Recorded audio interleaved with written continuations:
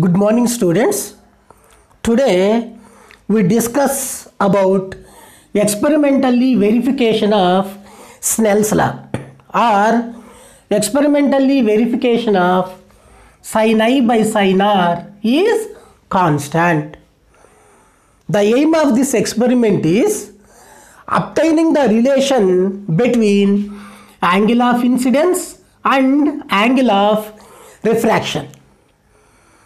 To do this experiment, the materials required are plank, white chart, protractor, semicircular glass disc, laser light.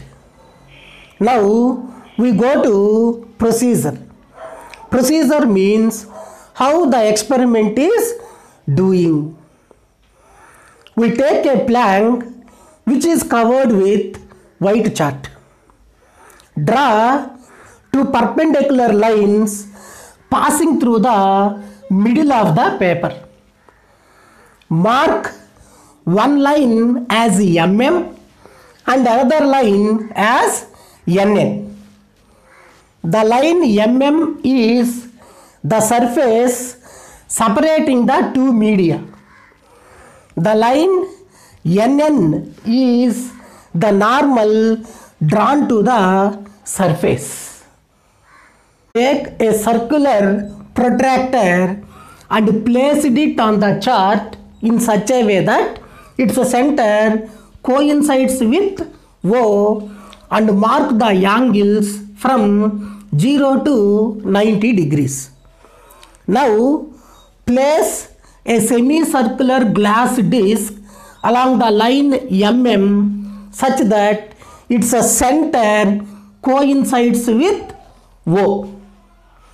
Send a laser light along the line which makes 20 degrees with the line NN. This is air. Air means rarer medium. And this is glass disc. Glass disc means denser medium.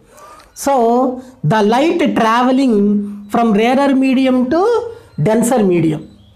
Due to refraction, it bends towards the normal. Now measure the angle of refraction by observing the light coming out of the glass disc. Repeat the same for 30 degrees, 40 degrees, 50 degrees, 60 degrees and 70 degrees and note the corresponding angles of refraction and tabulate the values.